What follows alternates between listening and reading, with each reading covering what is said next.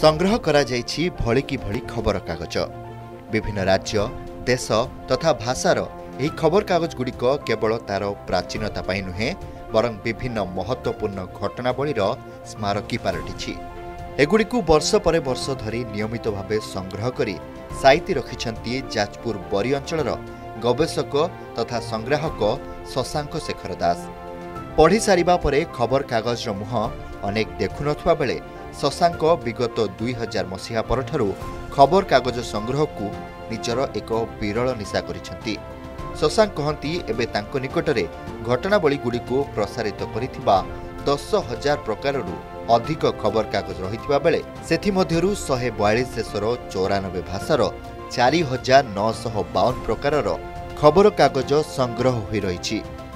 ଚନ୍ଦ୍ରାୟାନ ମଙ୍ଗଳାୟାନ ନରେନ୍ଦ୍ର ମୋଦିଙ୍କ ଶପଥ ଗ୍ରହଣ ଅଟଳ ବିହାରୀ ବାଜପେୟୀଙ୍କ ମହାପ୍ରୟାଣ ଘଟଣାବଳୀ ପରିବେଷଣ ଦିନର ଖବରକାଗଜକୁ ଯତ୍ନର ସହିତ ରଖିଛନ୍ତି ଶଶାଙ୍କ ଦୁଇ ହଜାର ମସିହାରେ ମୁଁ ଗୋଟେ ଛୋଟ ଖବରକାଗଜରେ କାମ କରୁଥିଲି। ସେହି ସମୟରେ ହଠାତ୍ ମୋ ମୁଣ୍ଡରେ ପଶିଲା ଏମିତି ଅନେକ ଛୋଟ ଖବରକାଗଜ ଥାଇପାରେ। ତ ସେମିତି ଏକ ଚିନ୍ତାଧାରାରୁ ମୁଁ ଆରମ୍ଭ କରିଥିଲି ଖବରକାଗଜ ସଂଗ୍ରହ କରିବା। ପ୍ରଥମେ ପ୍ରଥମେ ମୁଁ ଓଡ଼ିଆ ଖବରକାଗଜ ସଂଗ୍ରହ କଲି।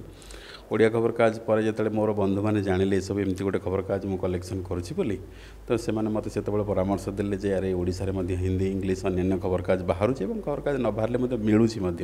ବିଶ୍ୱର ସର୍ବାଧିକ ଖବରକାଗଜ ସଂଗ୍ରାହକ ଭାବେ ନିଜ ନାଁକୁ ସ୍ଥାନିତ କରିବାକୁ ଯାଉଥିବା ଶଶାଙ୍କ ନିଜର ଏହି ନିଆରା ନିଶା ପାଇଁ ପେପର ମ୍ୟାନ୍ ଭାବେ ପାଇଛନ୍ତି ନୂଆ ଏକ ପରିଚୟ। ଗୋଟିଏ ଦିନରେ ତିନିଶହ ବାଉନ ପ୍ରକାରର ଖବରକାଗଜ ସଂଗ୍ରହ ପାଇଁ ତାଙ୍କୁ ଦୁଇହଜାର ବାରରେ ପ୍ରଥମେ ଲିମ୍କା ବୁକ୍ ଅଫ୍ ରେକର୍ଡରେ ସ୍ଥାନ ମିଳିଥିବା ବେଳେ ଦୁଇହଜାର ଉଣେଇଶ ଦୁଇହଜାର କୋଡ଼ିଏରେ ଦ୍ୱିତୀୟ ଓ ତୃତୀୟ ଥର ପାଇଁ ଏହି ରେକର୍ଡରେ ସ୍ଥାନ ମିଳିଥିଲା। ଅଠରଶହ ଚାଳିଶ ମସିହାର କାଠିଆୱାଡ଼ା ଟାଇମ୍ସଠାରୁ ଆରମ୍ଭ କରି ଉଣେଇଶଶହ ପଇଁତିରିଶ ମସିହାର ସମାଜ ଉଣେଇଶଶହ ଛପନ ମସିହାର ପ୍ରଜାତନ୍ତ୍ର ଉଣେଇଶଶହ ସତଚାଳିଶ ମସିହା ଅଗଷ୍ଟ ପନ୍ଦରର ଖବରକାଗଜକୁ ସଂଗ୍ରହ କରିଛନ୍ତି ଶଶାଙ୍କ ଏବଂ ଗିନିଜ୍ ବୁକ୍ ରେକର୍ଡରେ ନିଜକୁ ସ୍ଥାନିତ କରିବା ସହିତ ବିଶ୍ୱର ସର୍ବାଧିକ ଖବରକାଗଜ ସଂଗ୍ରାହକର ମାନ୍ୟତା ପାଇଛନ୍ତି।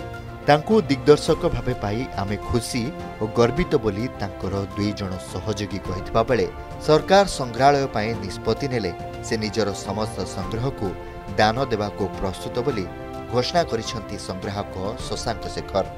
ଆମେ ଗୋଟେ ଅର୍ଗାନାଇଜେସନ୍ କାମ କରୁଛୁ। ତାଙ୍କୁ ଭଲ ଭାବେ ଜାଣିଛି ଯେହେତୁ ଗୋଟେ ଜାଗାରେ ରହୁଛୁ ଗୋଟେ ଅର୍ଗାନାଇଜେସନ୍ କାମ କରୁଛୁ। ତାଙ୍କର ପେପରକୁ ନେଇକି କହିଲେ ବର୍ତ୍ତମାନ ଆ, ଇଣ୍ଡିଆରେ ସେ ହେଉଛନ୍ତି ମୁଁ ଭାବୁଛି ବୋଧେ କିଏ କ'ଣ ଭାବୁଥିବ? ମୁଁ ଭାବୁଛି ବୋଧେ ସେ ଏକମାତ୍ର ଲୋକ ଇଣ୍ଡିଆରେ ପେପର ମ୍ୟାନ୍ ହିସାବରେ ଜଣାଶୁଣା।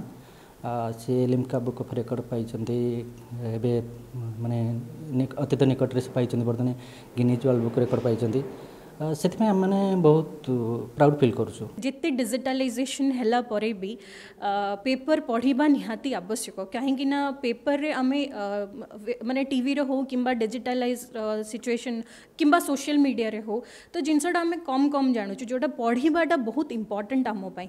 ତ ଆମେ ଯେତେ ପଢ଼ିବା ସେତେ ଭଲ। ଆଉ ପୁରୁଣା ପେପର୍ସ ୟା ଫିର୍ ଏବେକାର ପେପର ଗୁଡ଼ାରେ ଆମେ ଜାଣିପାରିବା ଯେ ବହୁତ ଗୁଡ଼ା ଜିନିଷ ଅଛି। ତାକୁ ଆମେ ଯେତେ ପଢ଼ିବା ଯେତେ ସବୁ ଜିନିଷ ଜାଣିବା ସେଇଟା ଆମ ପାଇଁ ଇମ୍ପର୍ଟାଣ୍ଟ ଆଉ ମୁଁ ଭାବୁଛି পেপরটা পড়িবাটা নিহাতি আবশ্যক বর্তমান যদি এই বন্ধ হয়ে থাকা খবর খবরকাগজ আউ সাংবাদিকতা ছাত্রছাত্রী পাখে বা সাংবাদিক পাখে দেখবার সুযোগ নাই কিন্তু যদি কোণী মিউজিয়ামে এ সংরক্ষিত হয়ে রহিপার তবে তাকে লোক মানে দেখিপারে জাঁপারে ঠিক সেমি যেমি কুলি জম্মু কাশ্মীর খবর খবরকাগজ রোশনী এই করোনা সময় মাস্ক বন্টন করে এটা দেখি দেওয়া টিকে করোনা সময় রোশনী জম্মু কাশ্মীর রোশনী কেবল মাস্ক পিঁধিয়া কই সে মাস্ক ପିନ୍ଧିବା ପାଇଁ କହିବା ସହିତ ଏକ ମାସ୍କ ମଧ୍ୟ ତା'ର ଦୁଇ ଟଙ୍କିଆ ଖବରକାଗଜରେ ବଣ୍ଟନ କରିଥିଲା।